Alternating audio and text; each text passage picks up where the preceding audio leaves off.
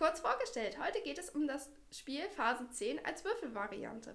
Dafür könnt ihr alleine oder bis zu fünf Personen sein. Ihr solltet acht Jahre alt sein und ein Spiel dauert 30 Minuten. Ja, wie beim Spielklassiker Phase 10 ja auch ist, ihr habt 10 Phasen, die ihr erfüllen müsst. Dafür habt ihr diesmal aber 10 Würfel.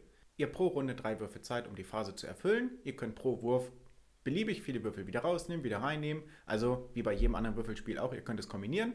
Am Ende könnt ihr dann gucken, wie viele Punkte ihr habt. Dafür zählt ihr alle Augenzahlen zusammen. Reicht euch die Punktzahl, könnt ihr sie eintragen. Wenn nicht, dann habt ihr die Phase nicht erfüllt und macht sie beim nächsten Wurf nochmal. Nach der fünften und zehnten Phase gibt es Bonis, wofür ihr eine bestimmte Punktzahl erreicht haben müsst. Und wer zuerst alle zehn Phasen erreicht hat, hat gewonnen. Bei dem Würfelphase 10 benötigt ihr nicht viel Platz, da es nur einen Schreiber gibt, der sämtliche Spielzahlen einträgt und ihr müsst ein bisschen Platz haben zum Würfeln. Ansonsten ist dieses Spiel eine schöne Alternative zu dem Klassiker mit den Handkarten, da man hier ein bisschen mehr Action hat.